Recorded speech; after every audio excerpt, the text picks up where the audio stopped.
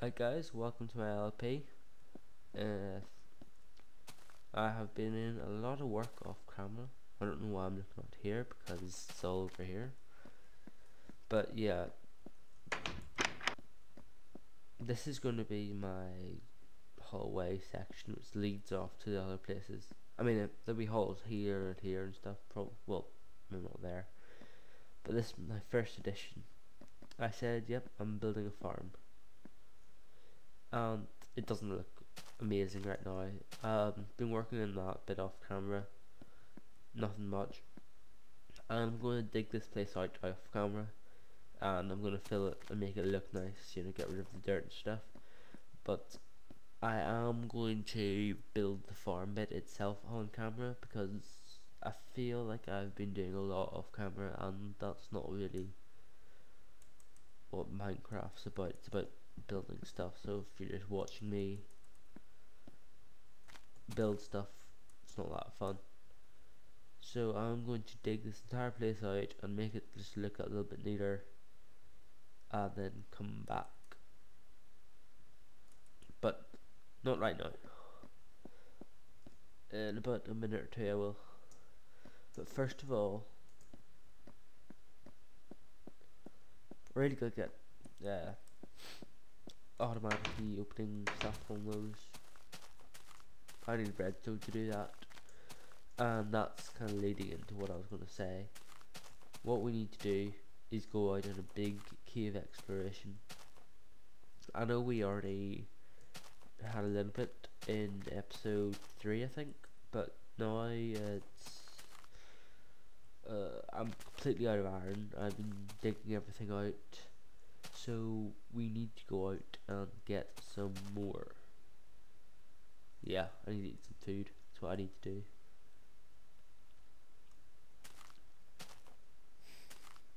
Hmm. So yeah. But I'm going to go out and dig that uh, farm a bit and actually while I'm here I probably need to cover this up. If you're wondering why it, it looks neater um, there's a piece of cobblestone there which is not natural. So yeah. Hmm. I feel like I should add windows in this place you know like a big sort of long stretch of windows. I can have windows I don't, I don't know exactly where to put them. Hmm. But yes yes yes yes, yes. Oh, and this room, yeah, completely lost words there. Uh, this room is going to be a lot bigger because uh, this stretches out from nine from this point to that point.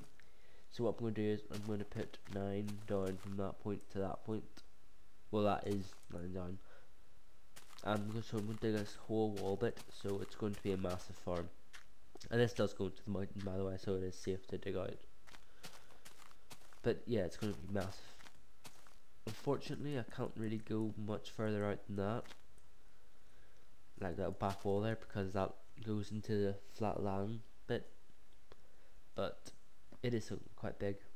And I have this really interesting way of building the farm, which I will show you when I'm process of building it.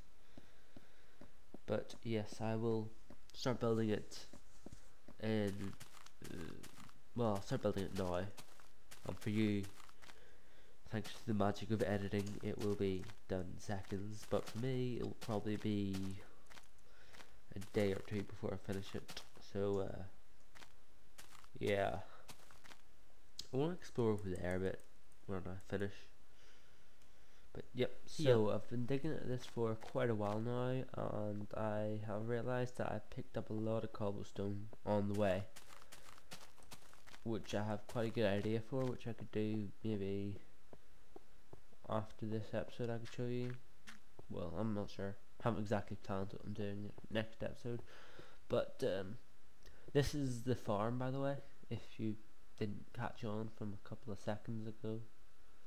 Um, the farm is going to be this size, and I'm going to make it look neater, obviously. But yeah, that's how big it's going to be Um, you know, if you think about it, it is actually quite big. Also, I've got these other plans that maybe behind that wall there, I could have an automatic cactus and reed farm, which I will build on camera. But I need some, I need to go mining, so I might, I might do that next episode. Go mining. Whoa. Whoa, sorry about that. But yeah, so I might go mining next episode. Hopefully, it'll work out well. I'll be good. Although with my cobblestone, I, my uh, plan was that I could smelt it all in the furnaces. Whoa! Crazy lag, guys. Anyways, so uh, my plan was to uh, melt it all in the furnaces and turn it into clean stone, which then I can turn into the new stone bricks, which I think was neaten the place up a bit. I mean, I'm going to keep these cobblestone blocks because they kind of mix in quite well. Uh, I mean, I don't know. Once I get the stone bricks, I will show you it what it looks like. I'll test it myself as well, and I'll see if it looks any good. I'll do you know, like that side there. See if it looks any good. If it does, I'll change it because I have a lot of cobblestone. I mean, see. And this is like well that, that is all of it, but so it's not like loads, but it's quite a good bit. So uh, yes, that's pretty much all I'm just gonna hear. So now time to build the farm. Right, so well, I have cut out the farm. Now I just need to fill it. And as you can see, I did not fill in this bottom part of the farm and for a good reason that I don't really need to because I'm covering it with half slabs.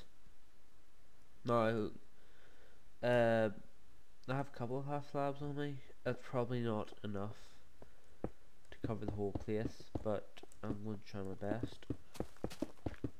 And if you don't know what I'm doing, you will see quite quickly. Because it's this is a really really effective way of farming.